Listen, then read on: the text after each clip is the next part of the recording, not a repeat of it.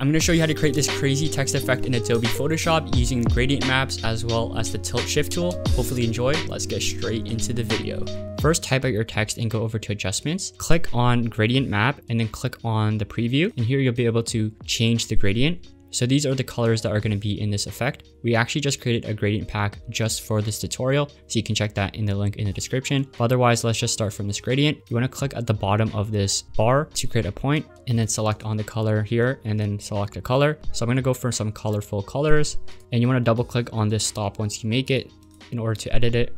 We're gonna go for yellow and then maybe orange. And actually, let's add some blue as well. So once you make this gradient, you actually won't see anything. You won't see anything until you do this next step. So click on your text, go over to filter, blur gallery, and then tilt shift and then convert it to a smart object. This will allow you to apply this effect and actually go back and edit the text if you want later. So right now you won't be able to see anything, but you might be able to see this outline at the top and bottom of the text. But once you increase the blur in the top right, you'll begin to see this effect in action. So what you can do here is you can hover over this line, drag it up or down so that it covers more surface area. So you can do the same thing to the top as well. You can also hover over this point right here and just rotate as well so that only like the edges get caught on this sort of effect. And you can actually go back and edit if you want without having to do these steps again. So for example, if you want to edit the text, you just double click on this preview and then you can edit the text. So if I type in text and then save this, so command or control S, and I go back to this gradient, you can see that it's updated. You can also go back to the blur settings by just clicking on blur gallery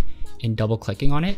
You can also go on gradient map and make sure that window properties is selected. So if you select on gradient map here, you can change the colors and you'll see it change in real time. So for example, if you went on our gradient pack here, you can see the different styles that we have.